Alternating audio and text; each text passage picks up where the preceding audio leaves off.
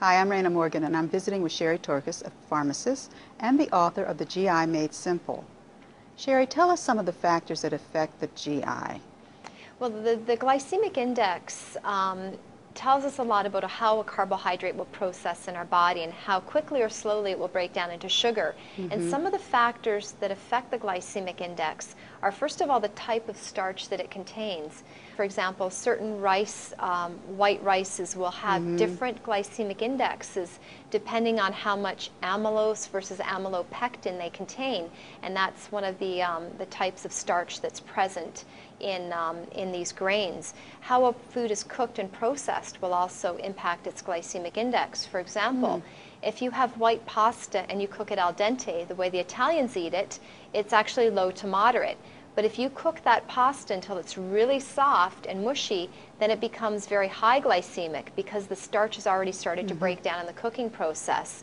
Um, the acidity of a food will also impact its glycemic index, and that's the reason why sourdough and pumpernickel bread, which contain more acids, are lower in the glycemic index compared to other types of um, breads, such as white bread or, mm-hmm. or even some of the um, 60% whole wheat breads, which tend to be higher in the glycemic index. So the sourdough and the rye are better sourdough, sourdough, rye, and pumpernickel bread are lower in the glycemic index. Mm-hmm. Also, whole grain breads, the amount of fiber in a product will affect its glycemic index.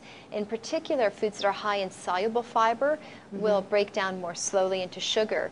And that's why in my book I recommend boosting your fiber intake, getting more soluble fiber mm-hmm. that you find naturally um, by eating um, fruits, vegetables, oats uh, flaxseed, all of these, um, these types of foods that are, are high in fiber. Uh, what about other acidic foods? Well, like vinegar, for example.